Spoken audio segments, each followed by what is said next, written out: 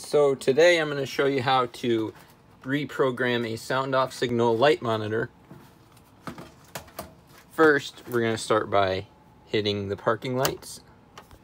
Then we'll go up to the light monitor and look for the button on the back, which is right here. You're going to momentarily press that until you see all the lights light up. Then we will come down and hit the ambers and you will see each one start to go out. Then after they are all out, then we'll switch over to the reds.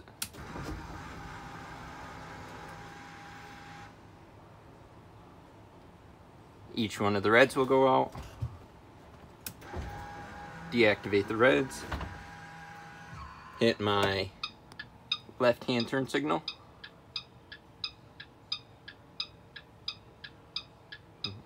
Okay, that went out. Hit my brake lights. We'll wait for those to go out. Perfect. Now we hit our right hand turn signal.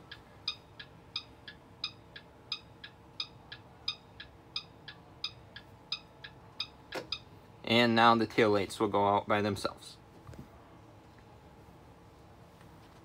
Now we start it up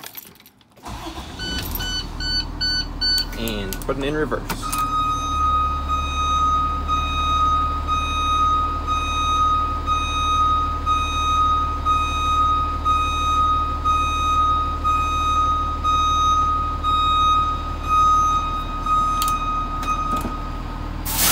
And that's all there is to it.